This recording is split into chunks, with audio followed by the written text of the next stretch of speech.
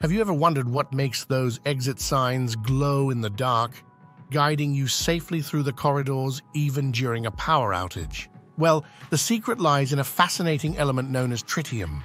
Tritium is a radioactive isotope of hydrogen with two neutrons and one proton.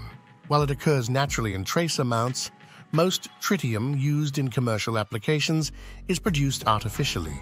Historically, one of the most common uses of tritium has been in exit signs. The process involves encapsulating tritium gas in a phosphor-coated tube, creating a self-powered, long-lasting light source. The brilliance of tritium-powered exit signs is their reliability. They don't rely on electricity and can illuminate continuously for up to 20 years. This makes them a crucial safety feature in buildings, especially during emergencies. But here's the question. How are humans exposed to tritium and is it safe? Tritium exposure can occur through inhalation, ingestion, or absorption through the skin.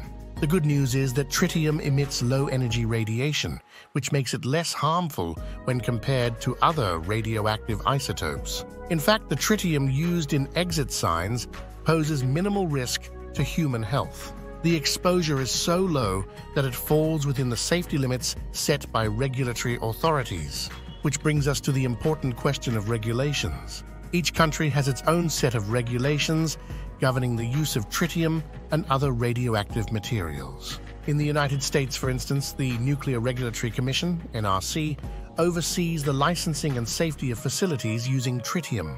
If you're curious about tritium regulations in your area, a great place to start is the official website of your country's nuclear regulatory body.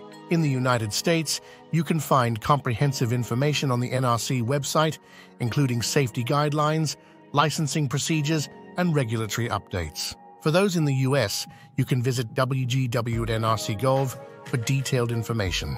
This website provides resources for the public, industry professionals, and researchers to stay informed about tritium and other radioactive materials.